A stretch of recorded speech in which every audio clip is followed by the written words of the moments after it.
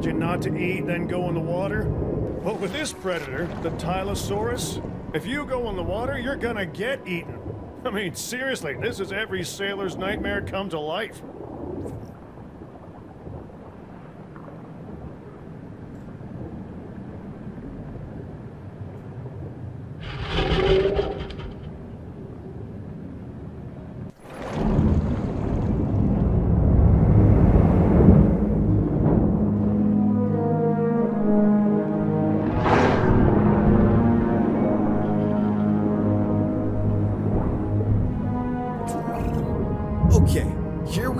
Kronosaurus, a predator that once ruled the seas of Colombia and Australia. Now get this. The marine reptile was named after the titan Kronos, a legendary ruler of Greek mythology's golden age. Pretty cool, right?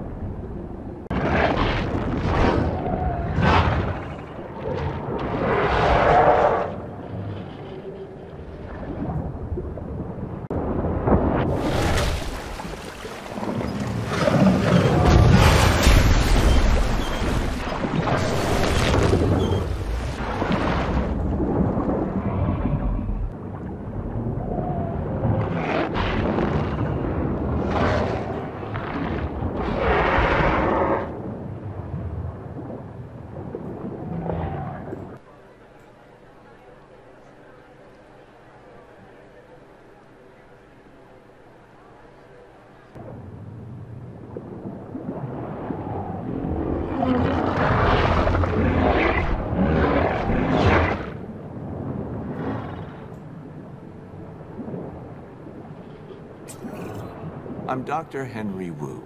I'm a scientist. Some might call me an artist, a sculptor. My sculptures are living, breathing dinosaurs.